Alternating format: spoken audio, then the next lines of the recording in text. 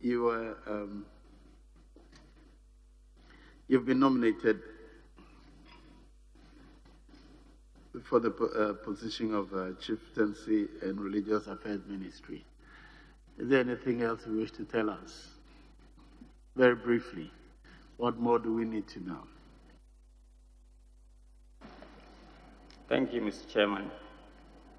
Mr. Chairman, on behalf of the good people of Ahanta West, I wish to thank His Excellency the President for nominating for the first time in the history of the Fourth Republic somebody from the Ahanta West constituency to this position.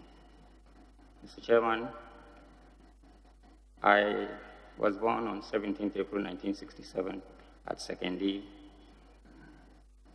I started my education at Takwadiki Primary School, continued at African Timber Plywood Preparatory School in Samreboi. Then from there, I proceeded to Apam Secondary School. And then to Inside Secondary School for my sixth form. I went to the Honorable. I said that those parts, we have them on the CV. If there's any other thing of interest, tell us. Mr. Chairman, I'm okay. Thank you. Yes, Honorable Agaga. Honorable colleague, congratulations. Um, going through your CV, and in fact, I can testify to the fact that you're a lawyer. So this question um, has to do directly with um, law practice at the level of the judicial committees of the regional houses of chiefs and even at the national level. Now, there is the problem of inordinate delays with respect to the adjudication of chieftaincy related disputes at that level. And one of the reasons for the delays is the unavailability of funds to pay for the certain allowances of panel members. There is this very interesting case of litigants having to come together to contribute to actually pay for the um, certain allowances of panel members at one of our judicial committees at the regional house level. If you're given the nod as the Minister for Chieftaincy and Religious Affairs, what would you do to ensure that there are speedy trials at the judicial committees of the regional and national houses of chiefs? Thank you, Mr. Chairman. Mr. Chairman, there are basically issues of logistics, the composition of the panel, and then the method of adjudication. Fortunately, His Excellency the President has set up or has expanded the Ministry of Communications to include digitization. I believe that with the support of my colleague, the, when I'm approved, the Minister for Communications, it should be possible to digitize the adjudication processes at the National House of Chiefs. The other one has to do with logistics. Chiefs have to travel from far and near to come and adjudicate on cases, and then if they have to spend days to adjudicate, there must be sufficient funds to cater for their housekeeping expenses.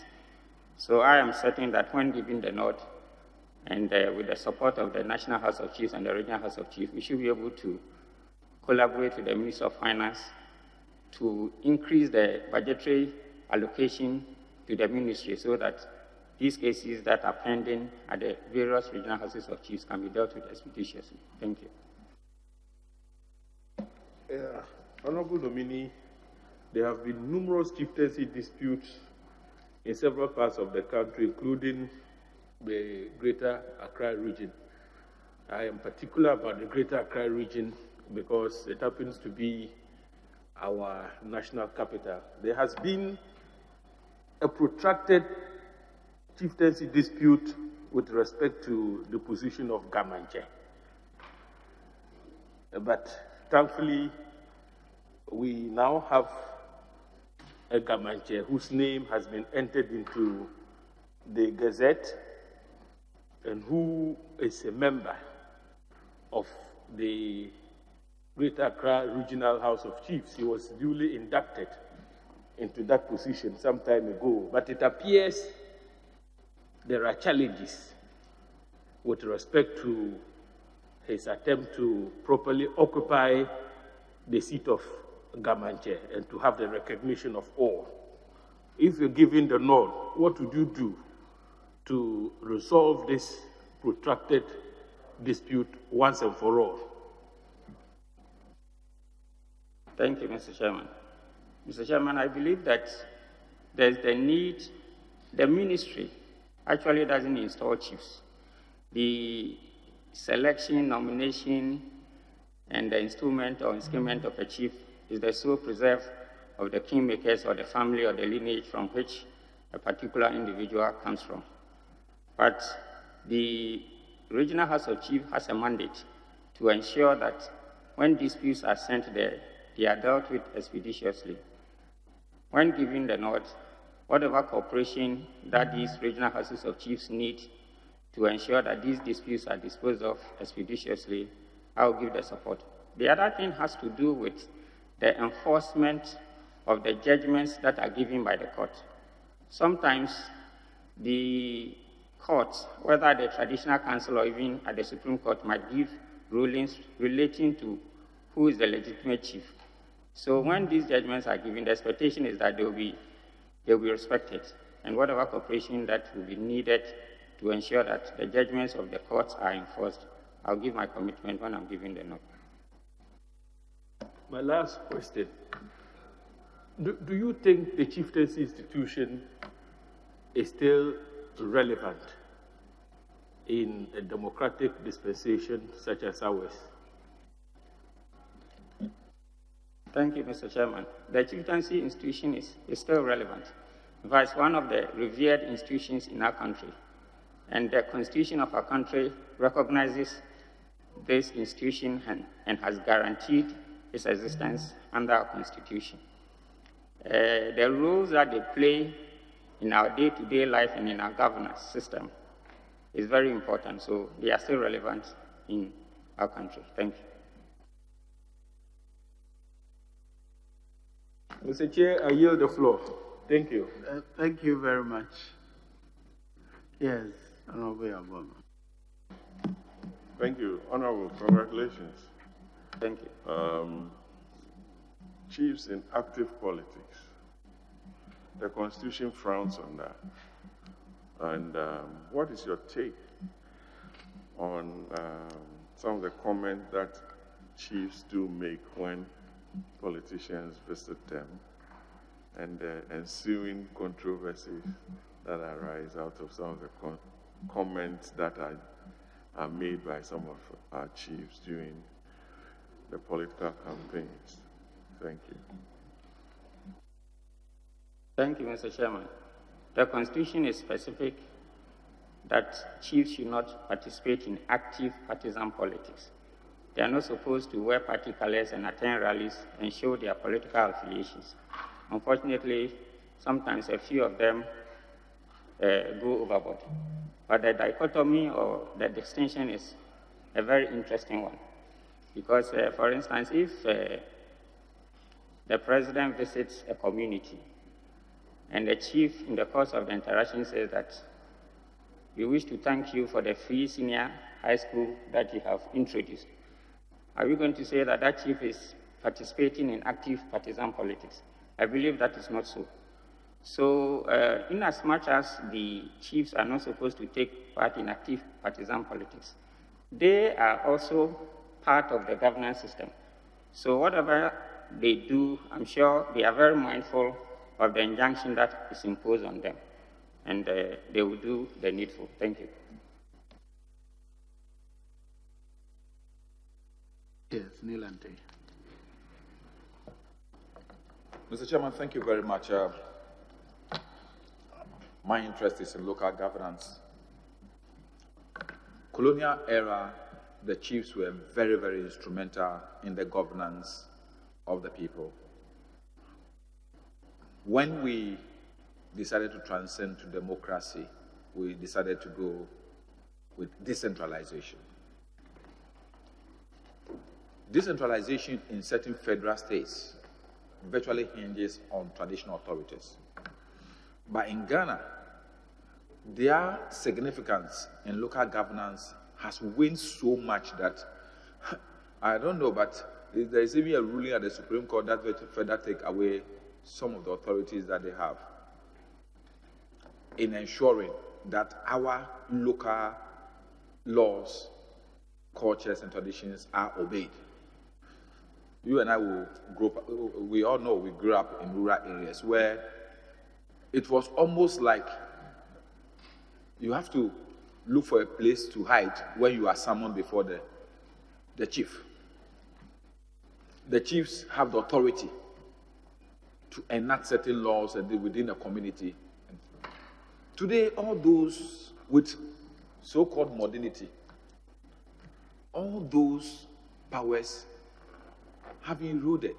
And as such, it's taking away some of these cohesive forces we have within our local governance system.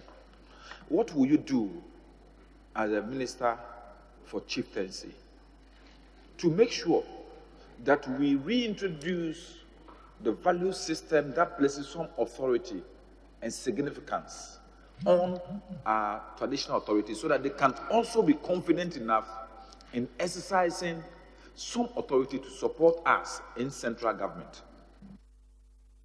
Thank you, Mr. Chairman. I would collaborate with the National House of Chiefs, the Regional House of Chiefs, and the various traditional councils to have an in-depth study into some of the causes of these happenings and then offer appropriate solutions. Thank you. Chairman, some people have argued that in order to arrest some of these things, uh, it would be good for some people who believe in our traditional value system to go to court, the Supreme Court, and ask for the review of that uh, unfortunate judgment. Do you agree to that opinion as a lawyer? Thank you, Mr. Chairman. The time for even applying for a review in that particular case has even elapsed. Uh, the National House of Chiefs is in the process of proposing some amendments to Section 63D, which was shut down by the Supreme Court. I'm very certain that uh, when I'm giving the notes, there will be deeper collaboration with the National House of Chiefs to see, in conjunction with the Attorney General, how that particular provision can be recrafted to give meaning and effect to the intent of the earlier provision. Thank you. Chairman, another, we are in a period of gender.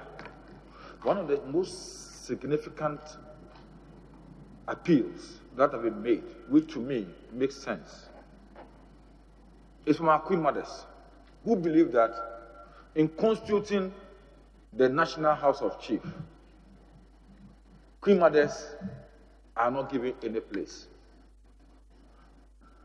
What do you think can be done in these days and civilization of gender equality and the rest? Do you think that we could do something in order to make sure that our Queen Mothers are also duly represented at the National House of Chiefs?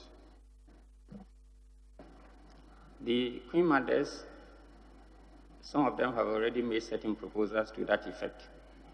This demands uh, broad-based consultations because there are some traditional areas we don't even have Mothers anyway. So this would demand that there is effective and continuous stakeholder engagement so that as an institution, is this something that collectively they will buy into, then we can proceed from there. Thank you.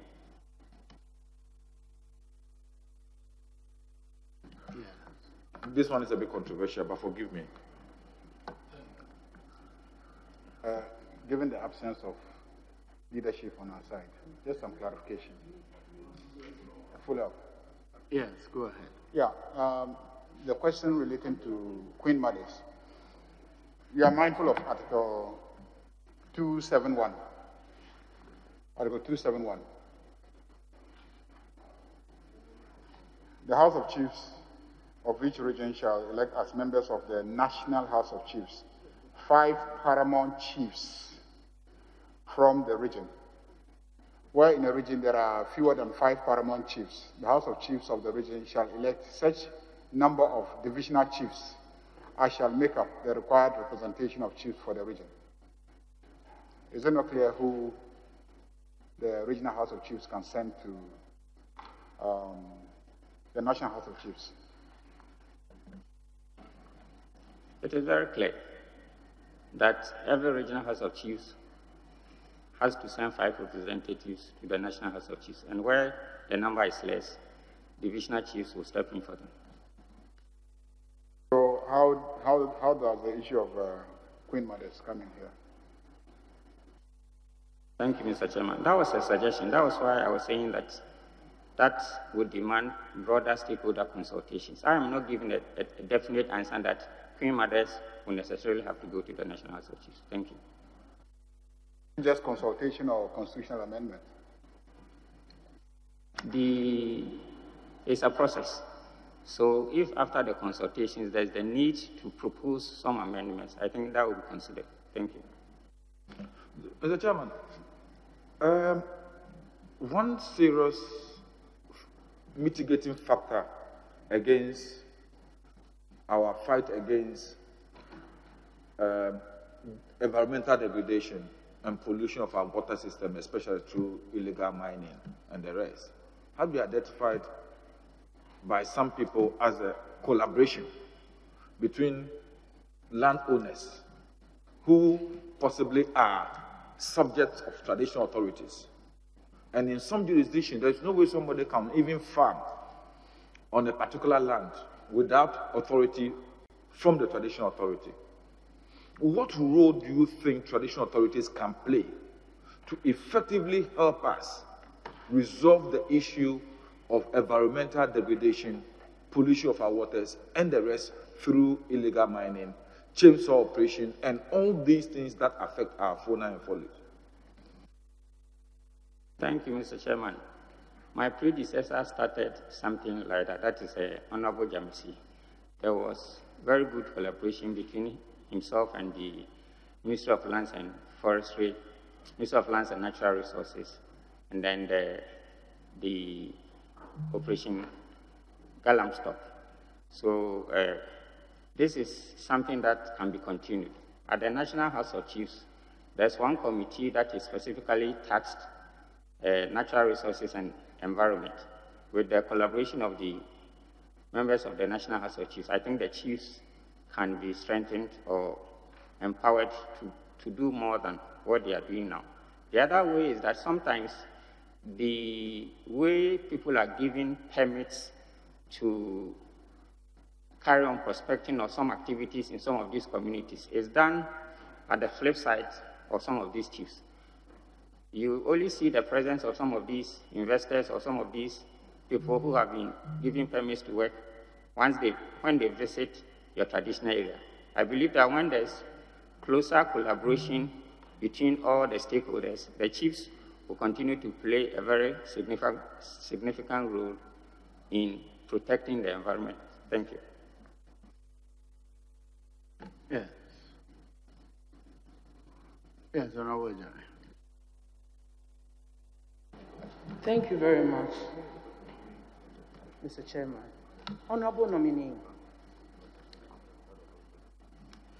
you are Minister Designate for Chieftaincy and Religious Affairs. In Ghana, 71% are Christians, 18% Muslims, 5% traditional religion, others 1 and 5% not really aligned.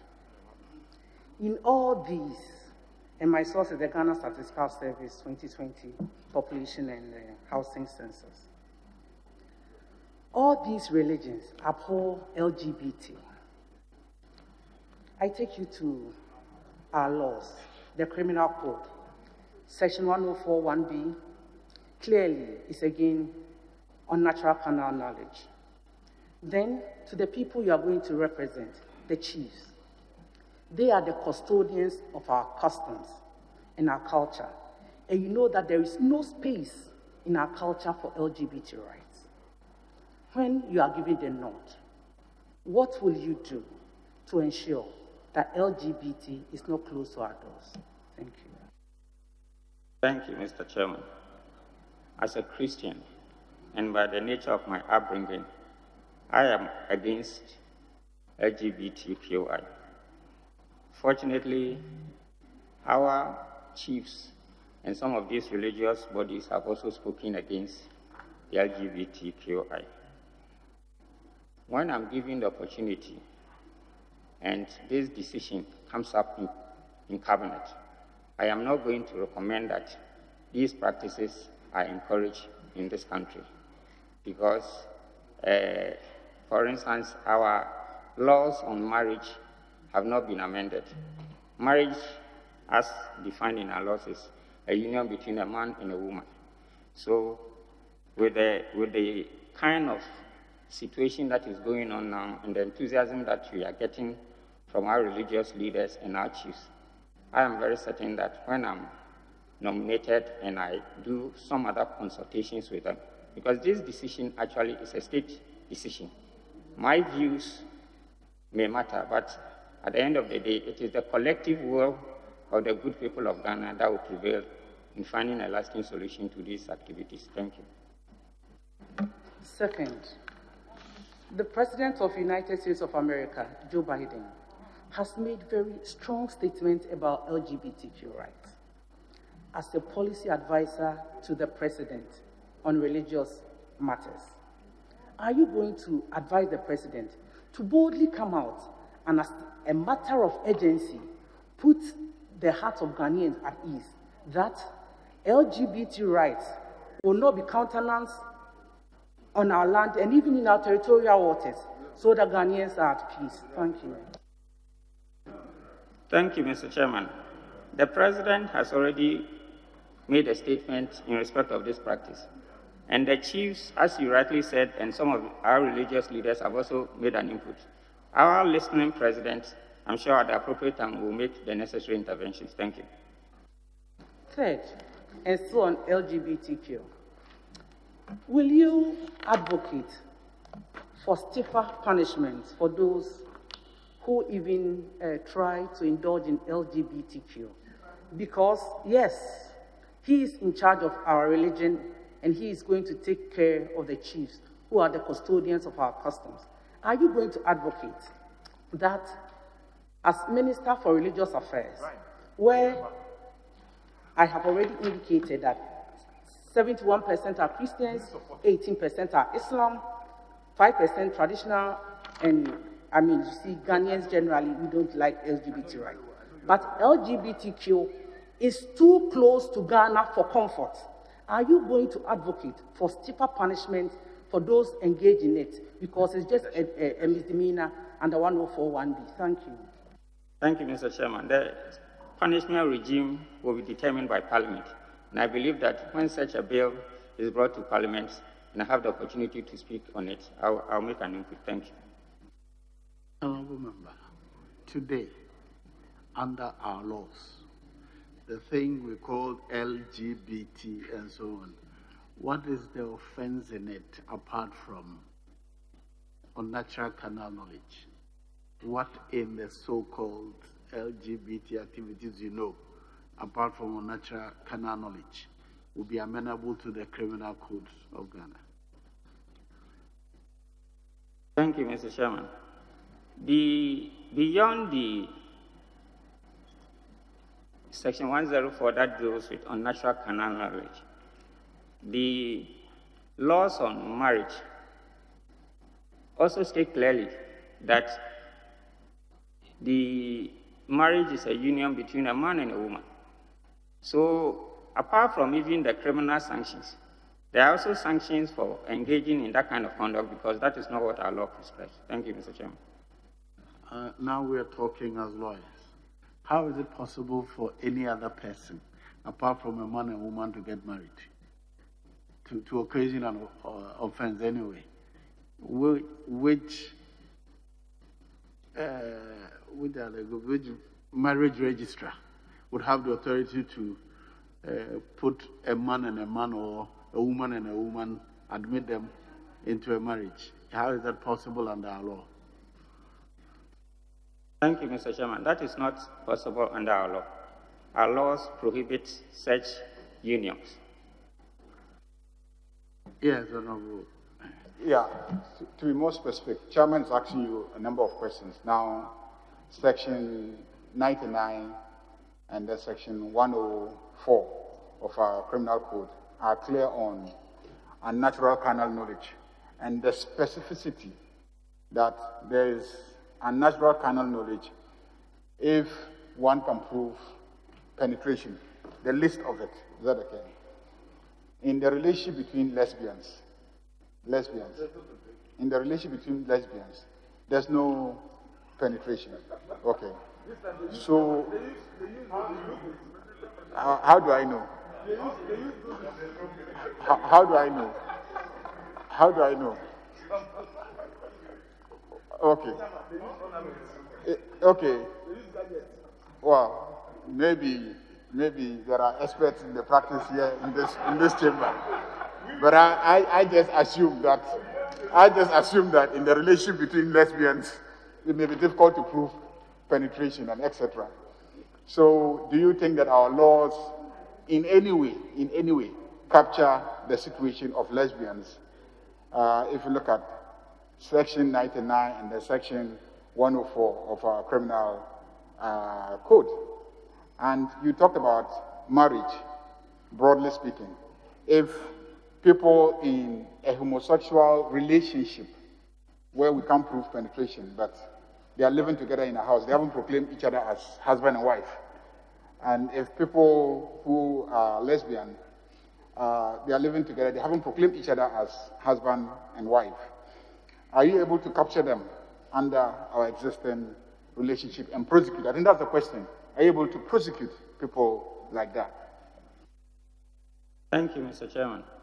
There's the need to expand the existing law to make provision for some of these happenings. Because the law in its current state, I have heard arguments that, as you are saying, because lesbians, there's no penetration, and it's, it's a way of extending the definition of unnatural carnal knowledge. So there's the need, as a parliament, for us to ensure that we expand the existing law so that all these practices that are gradually emerging will be taken care of under our laws. Thank you. Okay. Uh, no, Susu first, and I'll come to you. Thank you very much, Mr. Chairman. Honorable nominee, congratulations once more. Um, my first question has to do with uh, payment of royalties to chiefs. I'm sure that all our chiefs and queen mothers will be very much interested in this. Somewhere in 2017, January, your administration made a promise to ensure prompt payment of royalties due chiefs, queen mothers, and traditional councils. Um, I was trying to do a search to see um, how this promise has been kept. So far, there is nothing showing that this promise has been kept. How often will royalties be paid to chiefs under your administration as a minister? Thank you. The administration or the payment of royalties is not under my ministry directly. It's under the Ministry of Lands and Natural Resources. When I'm giving the nod, I will establish closer collaboration with the ministry so that these payments can be made as promptly as possible. Thank you. much. Um, the second one has to do with uh, one action by uh, your government in 2017 when the military facilitated organization uh, of a trip to Israel for Ghanaian Christians. Uh, in fact, we were made to understand that it was an inaugural trip. Do you intend to continue in this trend where annually you'll be having pilgrimage to Israel for Christians? Thank you, Mr. Chairman. This is something that has been started by my predecessor, and until and unless there is some reason not to continue it, it should be continued. Thank you very much. Can you say that again? I didn't hear the last part of the answer. My response was that this is a, a program that has been started by my predecessor. Until and unless there's some other reason why it should not be continued, when I'm giving the note, I would continue with that project. Thank you. What would you do as a minister to uh, reduce government interference in the election of President of National House of Chiefs?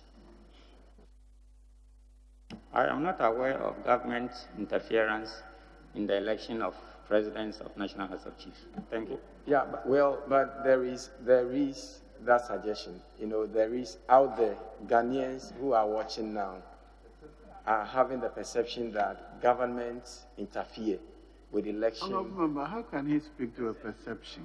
Ask him his own views. Well, uh, Mr. Chair, what I want him to, to assure the committee and the general populace watching him that under his watch as a minister, he would ensure that that will not happen. And that is a commitment I wanted him to give the people of Ghana. I don't think he can give that commitment. He does not take part in the election. But, but, but, So Mr. Chairman, but, Mr. Chairman, the- my point is that he is the Honorable member, ask supervising ministry. another question, please. Very well, Mr. Chair. Um, honorable nominee, in the NPP manifesto of 2016, you also promised that you are going to create an enabling legislative and economic environment for philanthropy to blossom under your ministry. How do you intend carrying this uh, out?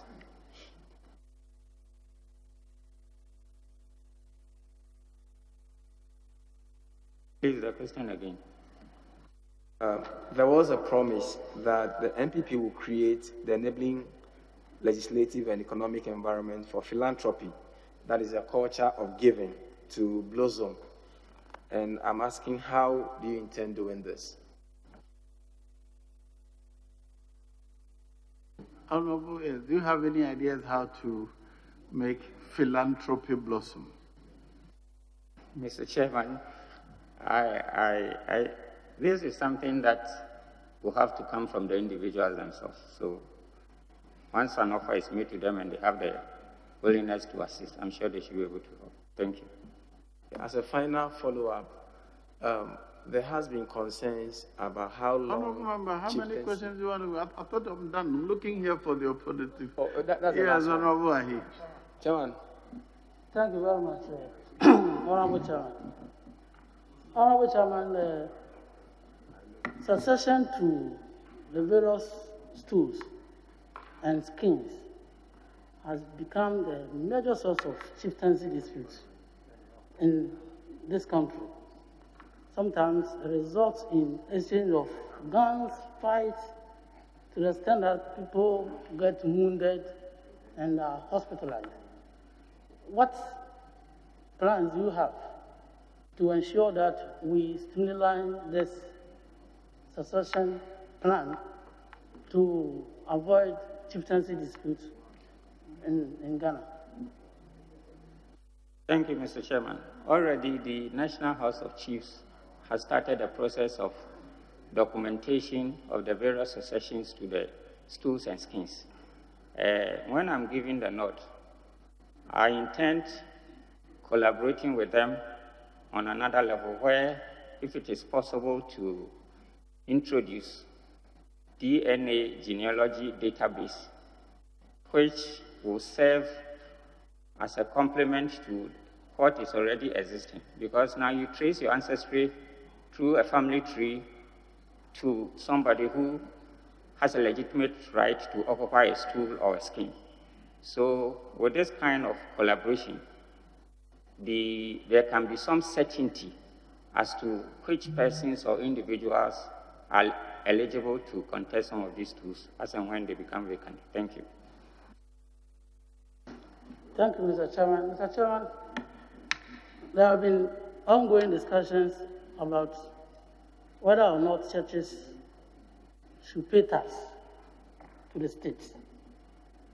What will be your position on this? Uh, that yes, that churches should pay tax. What will be your position on it? Thank you, Mr. Chairman. Churches, when they operate as churches, are not amenable to pay taxes. It is when they carry on business that they should be made to pay tax. And I think that is the position that I'll continue to advance. Thank you. Honorable member, when you say when they operate as churches, what they do with the money that accrues to them, who follows up to show that, in fact, apart from paying church workers, the rest should be for charitable work? Who follows to ensure that the monies they get from collections they, uh, they, they use it for the charitable work they are supposed to use it for. Thank you, Mr. Chairman. The Ghana Revenue Authority has a responsibility to, just as they do when companies present their annual statements to say that these are deductible expenses, these are not. They should be able to follow up on some of these uh, income that accrues to some of these churches to determine appropriately whether those incomes are chargeable for uh, tax purposes or not. Thank you. Yes. Oh. Churches, uh, Muslim religious sects, and etc. So let's just not limit it to churches, but all religious organizations. Do they or are they supposed to operate under a legal framework? Because when you decide to operate and take money from people and etc., are you to incorporate as a company limited by guarantee or what kind of, because we talk about when they do business. So when they do business, they are supposed to register a company, um, a limited liability company to be able to do business or incorporate as a cooperative or whatever legal framework. Now when they are not to do business and they are to pursue a social purpose, are they to register as a company limited by guarantee, or anybody can just wake up, go and uh, set up a structure, and then call people to come and ask them to make contributions, and then nobody accounts for the money. In addition, the salaries and emoluments of the leadership of the religious sects using the money contributions, are they supposed to pay taxes on that? Is there a, a, mechanism, a framework for holding religious groups accountable? That's, that's fundamentally the question.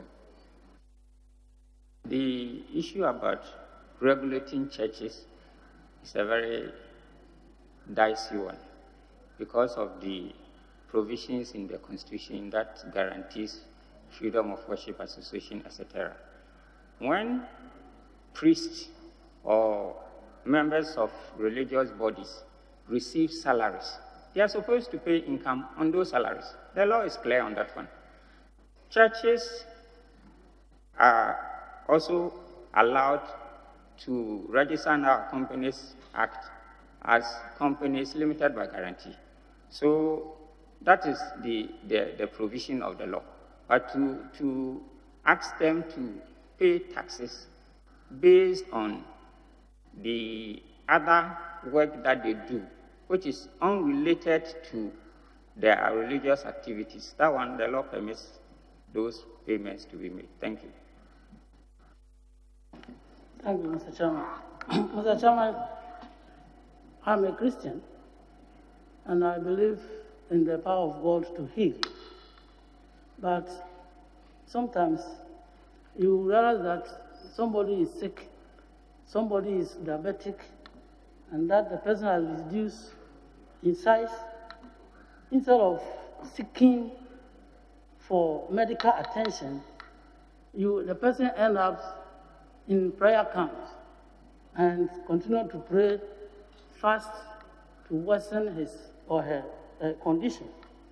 Honorable nominee, what will you do to ensure that churches, uh, I mean, prayer camps are advised to encourage, encourage patients who comes to them or uh, their members who comes to them to seek for spiritual healing, referring them to seek medical attention when need be. Thank you, Mr. Chairman. It's a question of faith. Uh, if the individual believes that when he's sick and he goes to a pastor or a priest and he prays for him or her, he can get his salvation, we cannot take away that belief in that faith from him or her. But going forward, when I'm giving the note, there should be enough education for some of these adherents or some of these church worshippers to know the difference between an ailment that needs medical attention and the other one that has to do with the salvation of your soul. Thank you. Okay. Yes, Giselle. Thank you, Mr. Chairman. Honorable nominee, there's often a case of noise pollution caused by some churches and residents and people in, who live in residential areas. Uh, there are some conflicts in, let's say, the planning, the planning and location of some of these um, churches. What are you going to be able to do or help to alleviate the challenges that people have, even though they may be Christians, but some of the churches can be making a lot of noise, higher, much higher, um, above the average decibel permitted level, let me put it that way, for residential areas. It's quite common in residential areas, but generally, on the whole, what are you going to be able to do to be able to bring some sanity into that aspect? Thank you. Thank you, Mr. Chairman. The noise levels are relative, and if the uh, physical planning departments of most of these assemblies are on top or are doing their work very well, there are, in the course of the physical planning, areas are demarcated for churches, mosques, and other religious facilities. So that coordination or that collaboration should exist. The other one has to do with tolerance levels. We live in a community where we have to tolerate each other. So, whilst people have a right to express their religious beliefs, we have to marry it with a kind of noise that is permissible within a certain environment. So, that will need a lot of dialogue and give and take so that we can coexist in these communities. Thank you. So would, you, Mr. Chairman, would you give the assurance that you you would liaise with the local government authorities and so on because it is an issue. Some people may not be able to voice it out, but on this platform we have the opportunity to voice it out for people who are disturbed by the noise. That doesn't mean that they are against the religion or the worship. It's just that sometimes it can be creating noise. Will you collaborate in that manner? Thank you. Honorable Member, I give you the assurance that that collaboration will be there. Thank you. My second question has to do with development in districts and the traditional, in collaboration with traditional councils. Now, would you recommend or would you support a structure, a more official structure of development being supported by all these stakeholders? That is that kind of policy direction coming from the top, such that every traditional council, every traditional area, for example, has that developmental committee, or even maybe going beyond the committee. I don't know what structure it is. Just that, to make sure that there's that formalization. Because sometimes when there are some disputes, if there was a committee in that manner with all the stakeholders involved, maybe there could be some resolution along the way that, look, all we want is development. Because very often, you and I know, we go to see the chiefs and they all say the same. All we want is development. How can we all push this developmental agenda in a much more structured and proper way? How could you support that as Minister of Chieftaincy coming into the picture? Thank you. Thank you, Mr. Chairman. Already the structure at the Metropolitan, Municipal, and District Assembly levels makes provision for the involvement of chiefs in the selection of the government appointees to the various assemblies. So there's this collaboration already in existence. When I'm giving the nod, we will strengthen this collaboration so that the kind of developments that we have or we are expecting in the various metropolitan, municipal, and district assemblies are achieved. Thank you. One last follow-up question to this. Your so, last question, please. Yes, thank you, Chairman. So you are looking at it from collaboration with the district assemblies, but I'm looking at it from the other way around. The chiefs are strong, they are powerful. Can there also be that structure to support them also on their side? Otherwise, they will be skewed towards just coming to what the district assembly wants to do.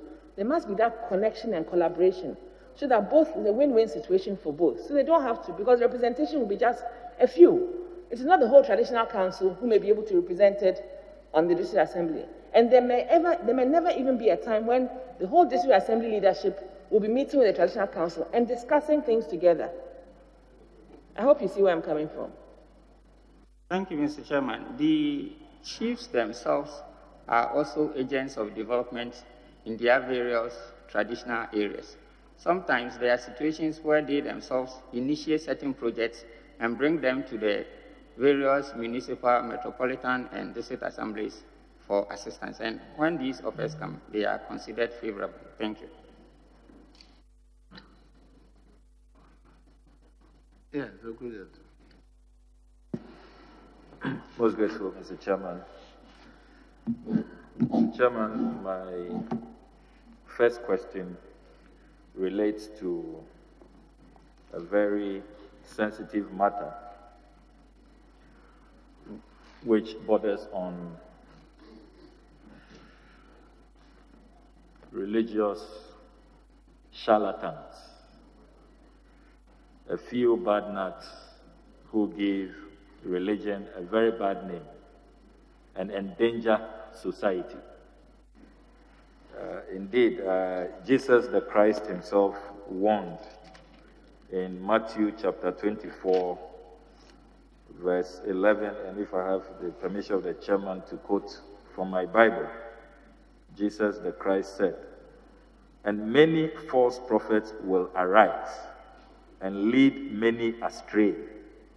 And because lawlessness will be increased, the love of many will grow cold. Matthew chapter 11, Matthew chapter 24, verse 11 and 12. You're seeing so many charlatans emerge in these days. And the position of our country for many, many years has been self regulation. Let the churches, let the religious bodies self regulate.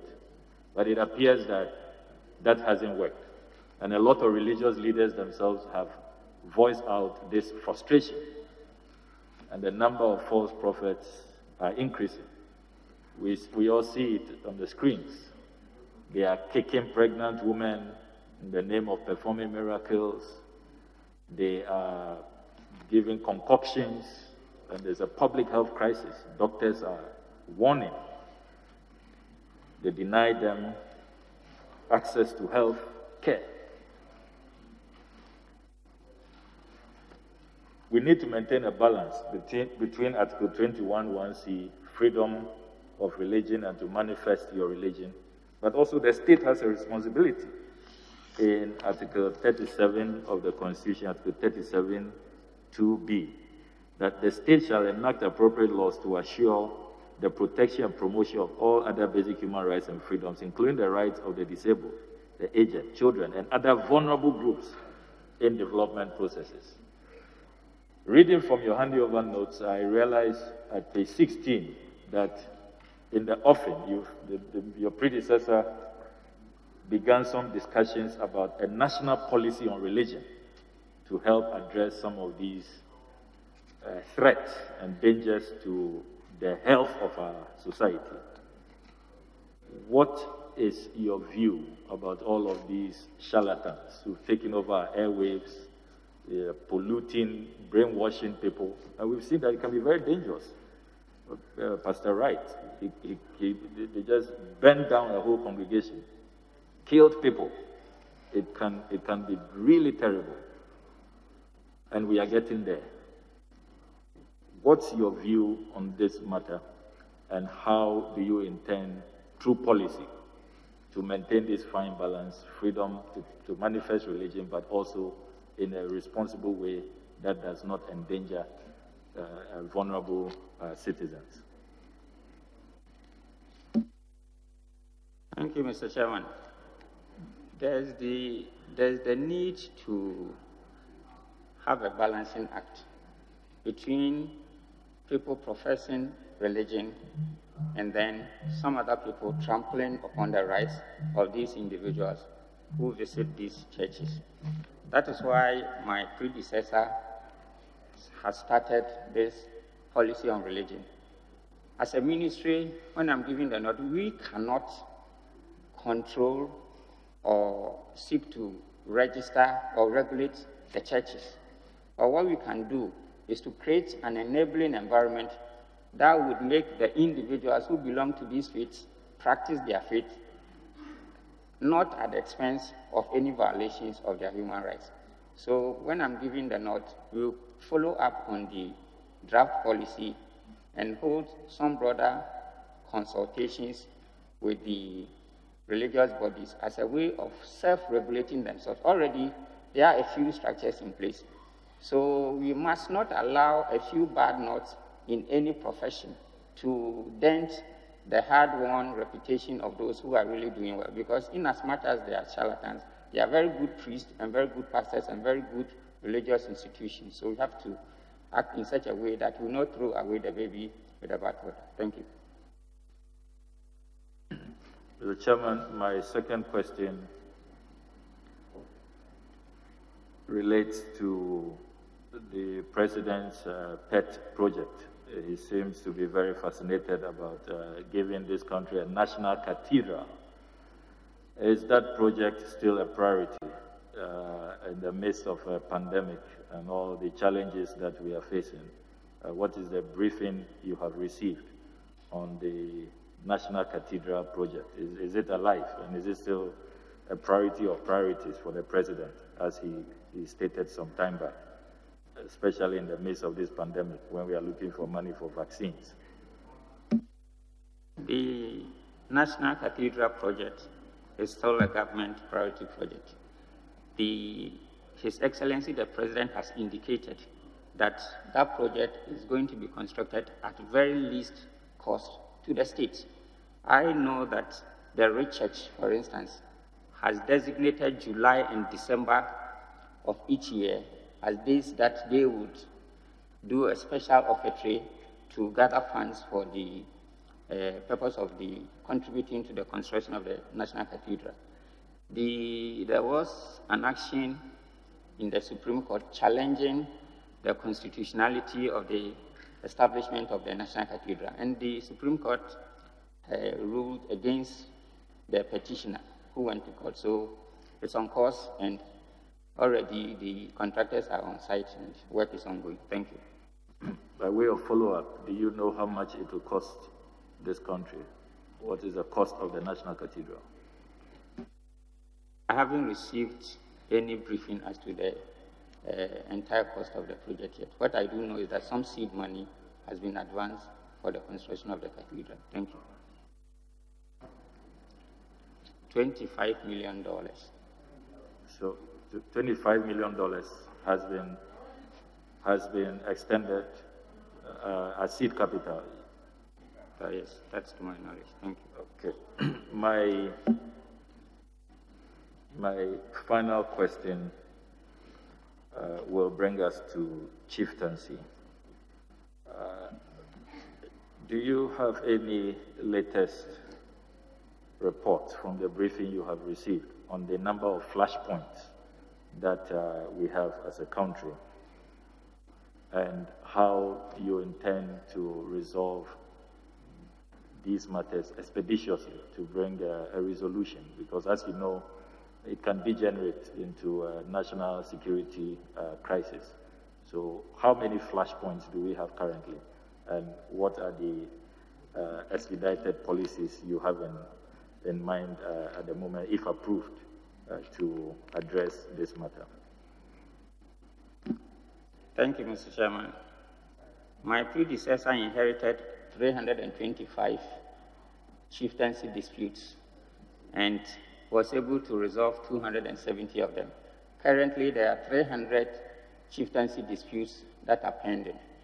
The issue of adjudication of these disputes, the issue of logistics, I spoke about them even before you came in, and the digitization of the entire adjudication process. These are ways that, when I'm approved, we put in place to ensure that these disputes are disposed of as expeditiously as possible. Thank you. Finally, a follow-up. Oh, finally, you have, said your last, and you come. Yes, but uh, Nobody the has- need for a follow-up All a reason, but Yes. I- I'll follow your cue, Chairman. Thank you very much, Mr. Chairman. Honorable nominee, in 2016, the Minister of Chieftaincy and Religious Affairs conducted a research and based upon that, develop a strategic implementation plan to execute a project called Harmful Traditional Practices Project. What is the status of that project? And would you consider a similar project that deals with inimical religious practices in Ghana? Thank you, Mr. Chairman. The briefing that I received so far points to the fact that these projects are ongoing. The issue about female genital mutilation, the issue about widowhood rights, and some other harmful practices. There is the need to involve the National Commission on Civic Education in this particular enterprise so that we can have a, a very good approach to the resolution of some of these harmful practices. Thank you. What about the second aspect of it, looking at the inimical religious practices? I asked whether you consider a similar project to deal with that situation. Sorry, I didn't get the last bit of your question. Part of the question was, would you consider a similar project that will deal with inimical religious practices? Um, our colleague, Honorable Okudzeto, made reference to some of these things in his last question. And in my answer, I said that these are issues that we need to deal with. Thank you. Now, my second question is about chiefs as development agents. Our chiefs have been development agents since pre-colonial times.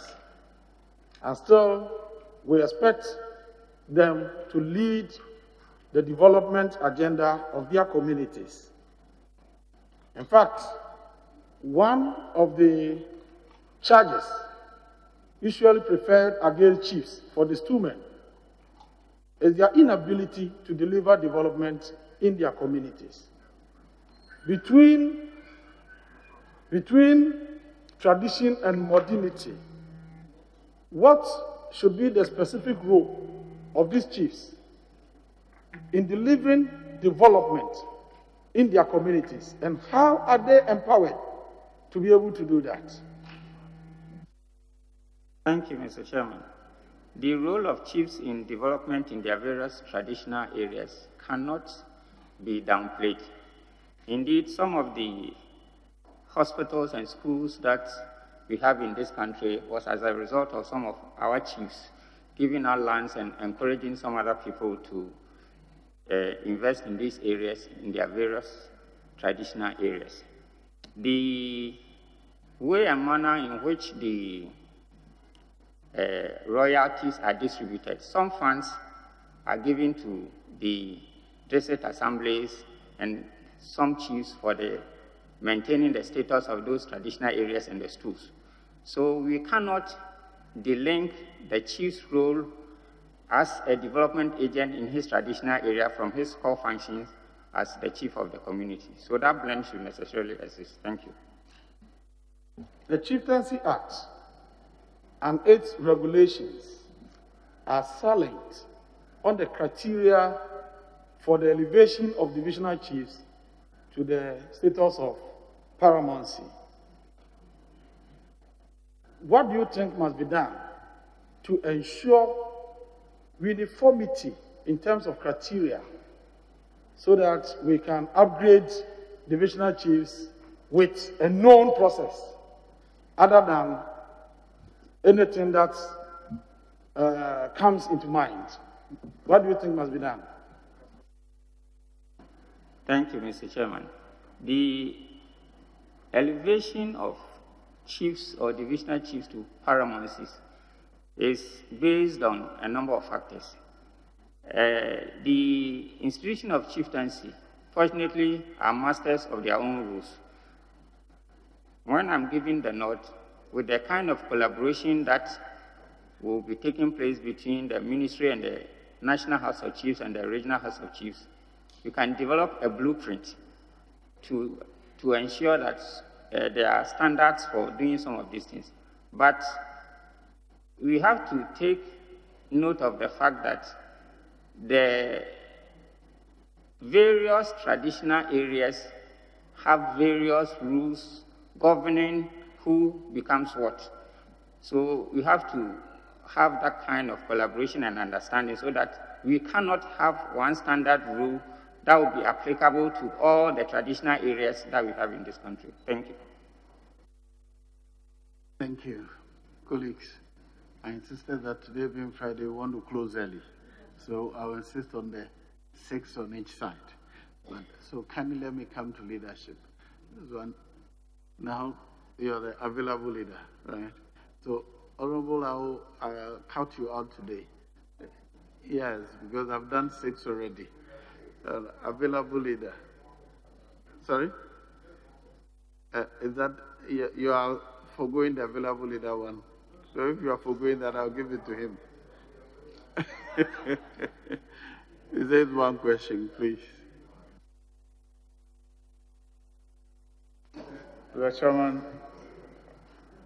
I can only but be grateful for the opportunity, even though I wish you could at least make it two for me, because it is taking me by surprise and I have to drop some of the questions that I prepared to.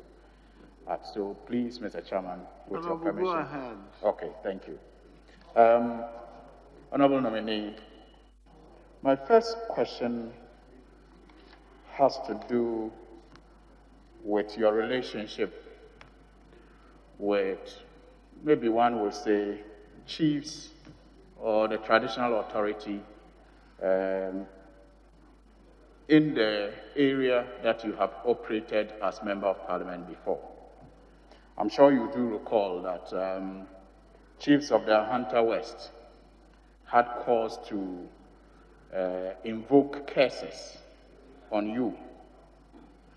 Um, the upper is it Dixcove or Discovery, you know, traditional area, called on their ancestors and their gods to deal with you for insulting the paramount chief of the area, Obrimpong Imadrichi the 14th. Um, based on this, how do you assure this committee and this nation that you have what it takes to deal with chiefs across the country as the minister responsible for that sector. Thank you, Mr. Chairman. I am a prince. My father was a chief. So I should be the last person who insult any chief. It is never correct that I insulted any chief. Some members of our party went overboard in some of the comments that they made. That issue has long been resolved. Indeed, when my nomination came, the Upper district chief was one of the persons I went to officially inform him about my nomination by the president. He congratulated me and gave his blessings for my nomination. Thank you. Right. Um, Mr. Chairman, I'd like the nominee to also take a very good look at these pictures. Um,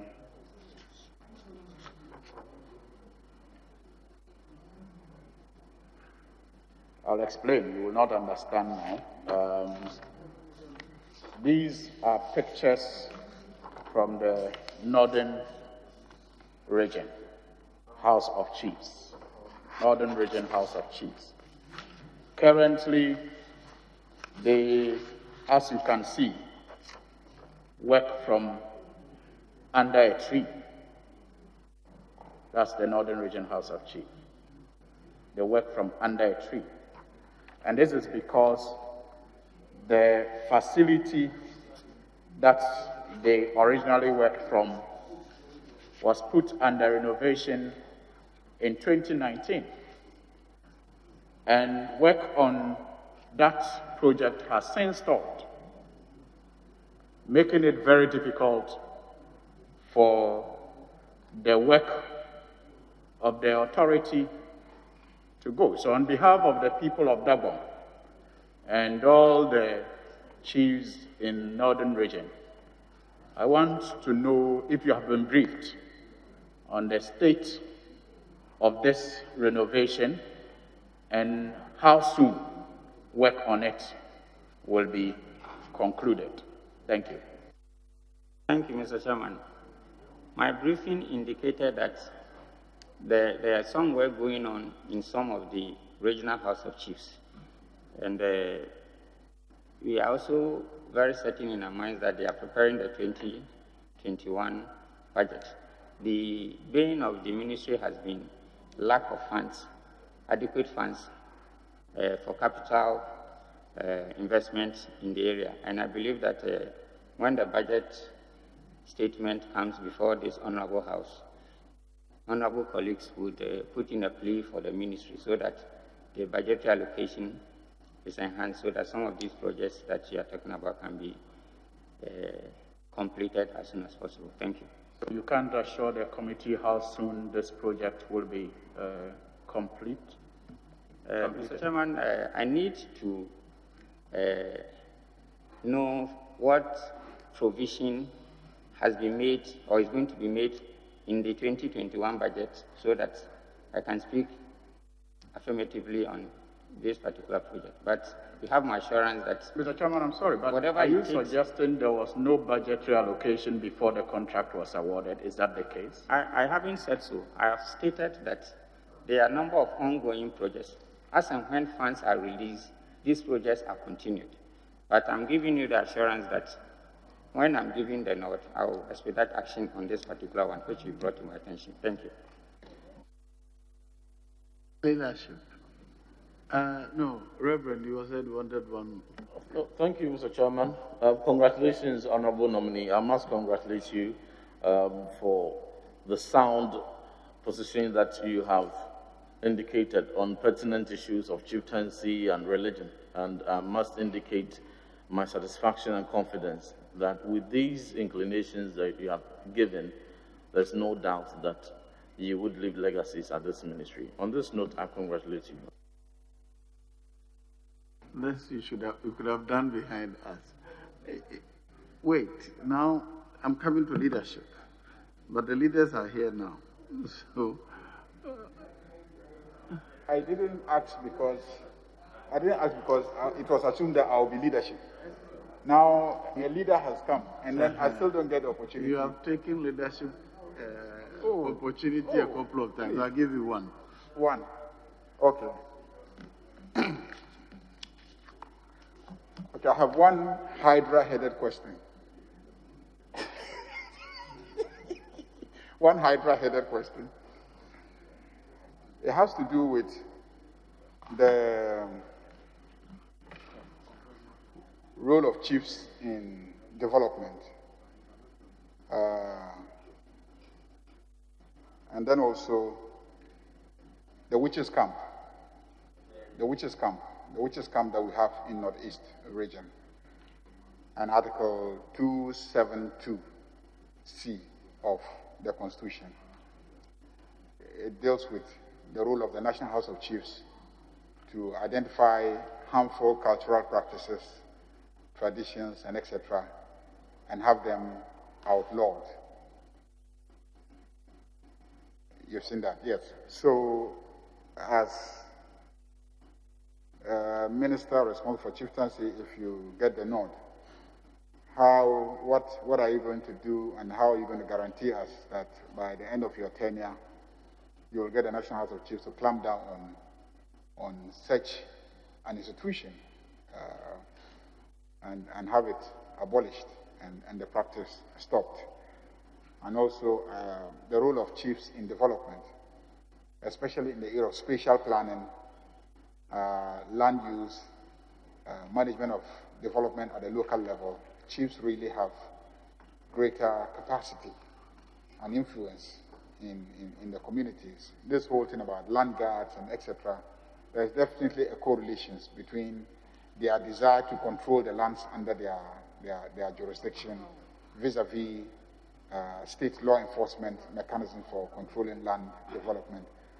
How are you going to make them more responsible in the management and development of land, where people just take lands, develop them, no access no planning, nothing. People just build because the chief has given the lands uh, to them. So if you can combine these and generally provide some response, given the restrictions I'm under. Thank you, Mr. Chairman. The collaboration that I have to establish with the National House of Chiefs to ensure that some of these harmful practices are dealt with, the law makes provision for that. So when given the note, I'll pursue that part. The issue about the spatial planning and chiefs as agents of development in their various traditional areas, I've indicated that they are already doing it. The setback has been that sometimes the chiefs will be in their various traditional areas and people will come in there to say that I have a concession, I have a permit to come and do ABC. So if right from the onset, these chiefs are involved in the entire planning process, I think these issues will be resolved. So there's the need for uh, closer collaboration and involvement at the initial stages of some of these developmental projects, and I'll pursue that part when I'm giving the note. Thank you. Yes, Honorable Leader.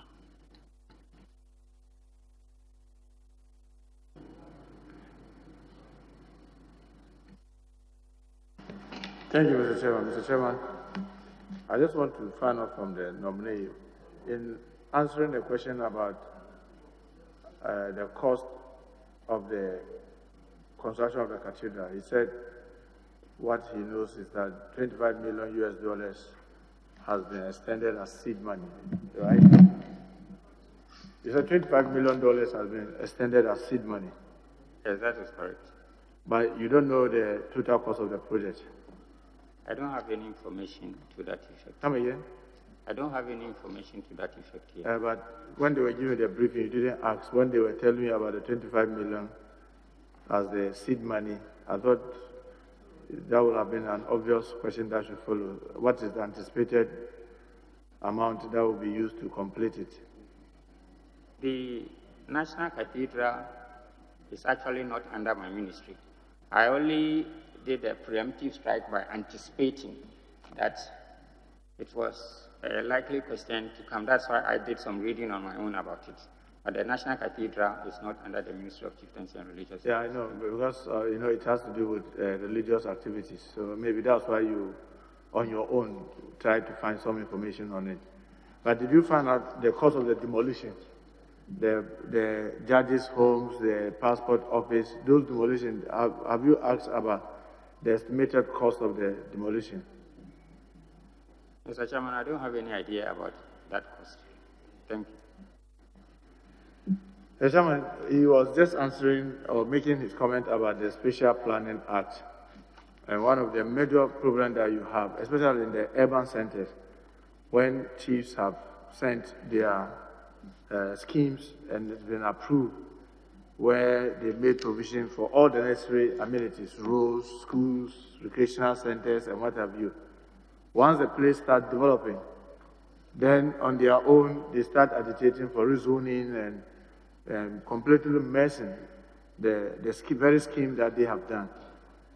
I know that not even this house has been mandated by our constitution to, to amend acts that affect chieftaincy. But this action of our chiefs, how do you hope to get them to uh, comply with the Spatial Planning Act? Thank you, Mr. Chairman. Once there's closer collaboration between the traditional leaders, the municipal, metropolitan municipal and district assemblies, and the Ministry of Lands and Natural Resources, there should be a way out of resolving some of these issues. Because once you give out the land and then the developments catch up with it, there should be a way of ensuring that the purpose for which these lands were reserved are adhered to. Thank you. Um, Mr. Chairman, there is this uh, erroneous impression that is uh, being bandied around by our chiefs that, oh, we gave this land for you to construct parliament. Now that you are not using it for parliament, reverse it to us. And but there's a Supreme Court ruling that says that once that land is going to be used for the public good, it does not necessarily have to be reverted to them. How do you hope to get them to appreciate this so that they may stop the unnecessary litigation that in many disassemblies is one of the major challenges they have with the traditional authorities? Thank you, Mr. Chairman. The, there's a need for some education and some further engagement with these traditional leaders so that they appreciate some of the concerns that you have raised. And when I'm giving the note, we will continue along that path. Thank you. Chairman, the Spatial uh, Planning Act, precisely section 93, 3 and 4, is talking about when rezoning had to be done. Because of the way the, uh, for lack of better word, the Nananom or the paramount chiefs or the chiefs and the district assembly are abusing the rezoning and virtually messing up the scheme. When we were passing this act in 2016, Parliament said that if you needed to rezone land that is used or reserved for public use, you have to come to Parliament. This is not really popularized, and you still get a lot of assemblies and Nananom uh, chiefs go around rezoning without coming to Parliament. How do you hope to popularize this for them to appreciate that if it has to be done, then it must necessarily come to Parliament to comply with the Act? Thank you, Mr. Chairman. The, the, once there's a law in existence regulating how some of these things ought to be done, I think the laws ought to be followed. Thank you. I don't know whether you were given a briefing on the cost of pilgrimages, both the Muslim and the Christians. You know, recent past, the, the Minister of Chieftaincy has been facilitating the pilgrims to uh, Jerusalem. And then the government too have been supporting in one way or the other the Muslim to be able to embark on the pilgrimage to Saudi Arabia. I don't know whether in the briefing you, you, asked about the, how much it's been costing us annually. Thank you, Mr. Chairman. I haven't received any such briefing. Thank you. Mr. Chairman, my colleague, in your constituency, there, you pulled down a dilapidated youth center and promised to construct a stadium to replace it. Is that correct?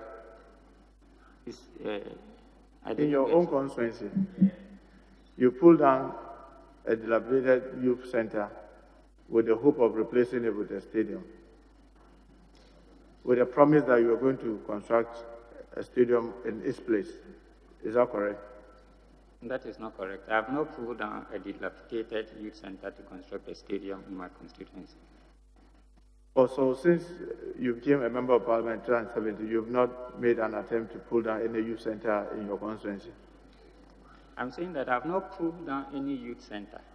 What I'm doing in my constituency is rather constructing a youth center in my constituency from the uh, funds that are available to MPs. When did you start the, that construction? When did that construction start? When did, this, when did you start the construction? The construction started sometime in 2018. 2018. Is it completed? Sajama is not completed. About what percentage completion? I would say that they are now at the footing stage. Footings, they completed the footings. Mr. Chairman, the customary land secretariat, that is within the Land Act, is to support land management by, by the Land Commission. What do you intend to do if given the opportunity, knowing that you are in charge of chieftaincy and customary force director are due to improve that secretariat? I'm talking about the, the customary land secretariat. You know, because we are in charge of chieftaincy, and you know, normally this one falls under our chiefs. And you know, they have a myriad of challenges. And I'm saying that when given the nod, what do you intend to do to improve the services and uh, the challenges that the customary land secretariat is facing to be able to help our chiefs and traditional authorities? The secretariat is not under the ministry. The secretariat is under the uh, Ministry of Lands and Natural Resources. I have indicated that there should be closer collaboration between my ministry and that ministry so that where payments are due the chiefs, these payments are done promptly so that they can use those monies. Those royalties or those portions of those monies that ought to come to the chiefs are received as quickly as possible. Thank you. Mr. Chairman, thank you. Yeah, leader. Uh, Chairman, I should thank you and to wish our colleague, the Honorable Kum, uh, well, and to urge him that the President is taking him to a very sensitive institution, the chieftaincy institution with additional responsibility for religion. There are emotive issues there, so you have to be reflective and sober and work in accordance with chapter 22 of the Constitution. Chairman relates to me that you've already been referred to Article 270 and 272. You see that customary law and customary usage is part of our practice and within the meaning of Article 11 of the Constitution. On this lesbianism, gay, where do you stand as a good Christian? Where do you stand? If it's been We answered, Chairman. them, uh, 10 questions on them. On them.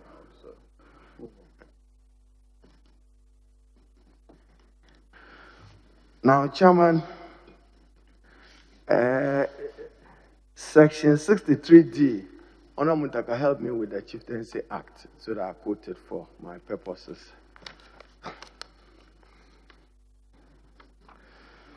Chairman, I'm referencing Nana Adjei Ampofo versus National House of Chiefs and the Attorney General, reported 2011, a Supreme Court decision where Section 63D was held by the Supreme Court as unconstitutional.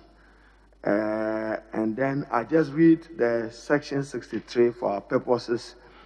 A person who acts or performs the functions of, of a chief when that person is not qualified to act. And as I have said, I'm emphasizing 63D deliberately refuses to honor a call from a chief to attend to an issue. The Supreme Court is of the view that this is unconstitutional. It reminds me of my first year tutorial in sociology and anthropology at the University of Ghana, I believe by Professor Nukunya and Chris Abotchie. It was a popular question Quitter away the chieftaincy institution. It was a very popular sociological question for first year students. Chiefs used to exercise legislative powers, they used to exercise judicial powers, even religious powers. But modernization have taken it over. Now the Supreme Court thinks that a chief has no power to invite a person The National House of Chiefs, led by Togbe Afede, engaged myself and Honorable Osei Kyei-Mensah-Bonsu with the Office of the Attorney General. So it requires an amendment. Will you lead the process to make sure that we domesticate by law what has become a decision of the Supreme Court? Thank you, Chair. Thank you, Mr. Chairman. I will support whatever collaboration the National House of Chiefs would need to effect the amendment that will give meaning to the true intent of that provision, which has been shut down by the Supreme Court of this country. Thank you. Chairman, just noting further, I have some understanding from the uh, former president of the National House of Chiefs, Togbe Afede, that there is some discussion and understanding with the Attorney General Office to improve the text but ultimately, it will need to come to Parliament for us to legislate on it. Can you give us timelines when this can be done? When I'm giving the note, I would work on it expeditiously. I cannot give timelines because of the processes that involve, most of which I don't have control over. Thank you. Uh, Chairman, so it brings to fore the debate of modernity versus traditionalism. In my part of the country, for instance, and I believe even in the Ashanti Kingdom, uh, who dare you not respond to a call from uh, His Majesty uh, Otumfuo Asantehene? Who dare you not to respond to a call from uh, the Paga Pio or the uh, Sandema Paramonsi? But it means that Act 759 of 2008 appreciated that chiefs could do this and in fact provided that if you refuse to respond to a call to, by a chief, you commit an offense and you are liable to summary conviction to a fine not more than 200 penalty units. How do you marry this delicate balance of chief exercising legitimate authority for the peace and stability of their community and their country against this is my right, is my right, is my human right. What will you do as minister on that? Thank you, Chair. Thank you, Mr. Chairman. I believe that the Supreme Court in its ruling indicated that to attend to an issue was at large. So what kind of interpretation to put on what the issue was was in controversy. So moving on, once there's the intention to recraft that particular provision, whatever it takes for us to ensure that it gets the true intent of what the House of Chiefs wants, and so that the, they can have the power to adjudicate on those matters that are in contention. We will pursue that path. Thank you very much. Chairman, my is just to end with a comment again. Sensitive area, Dagbon. The president has done his best to resolve aspects of it. It is not complete yet. There are still threats to the institution. There are problems in Nanton, problem in Karaga, Nanu, the uh, paramountcy of the Bimbilla Nanumba traditional area. There are issues, and is the wish of the regent and the other parties in the dispute over there that there is a Supreme Court decision on it similar to Rihanna, which helped guide the Dagbon process. I want to trust that you will guide the president with deep thought in appreciation in appreciating what the Honorable Ablakwa referred to you, that there are still major, major flat points in the country. In fact, my constituency this morning, Several people have been arrested to the police station from a community known as Young Dakwamile, which started from Monday up to ye yesterday. And Mr. Chairman, to interest you, sons of the same father have disagreed on who should succeed. And that has resulted in the destruction of property. So that's why I'm saying that you have to be level headed in order to assist the president to deal uh, with, with, with, with, this delicate uh, institution. Once you are a member of parliament, uh, I wish you well. Thank you, Chairman. Very well. Honorable Member nominee, you appear to have had a substantial engagement with the Center for National Culture, 2000 to 2005, 92 to 96, then 86 to 87. All these periods were apart from indicating that you did national service with them, you didn't indicate what we were doing there on your CV. 1992 to 96, what were you doing at the National Center for National Culture in Sekondi? Thank you, Mr. Chairman. I was the Assistant Public Relations Officer for the uh, Center for National Culture before from uh, 92 to 96. And then from 2000 to 2005, I was responsible for administration. Thank you. Well, my next issue is the religious affairs. Do you think that we should draw up some regulation to regulate or provide for some constitutional arrangement, just like you have a model constitution for companies. You think it, it will be practicable to have some model regulation for religious organizations so that we can have them operate within certain limits. What's your view? Thank you, Mr. Chairman. I agree with you to the extent that because there are various sects, it has to be done taking cognizance of the various religious beliefs that the individuals profess to. Thank you. Very well. We thank you for attending upon the House to answer questions. You will hear from us later. For now, you're discharged. I'm very grateful, Mr. Chairman.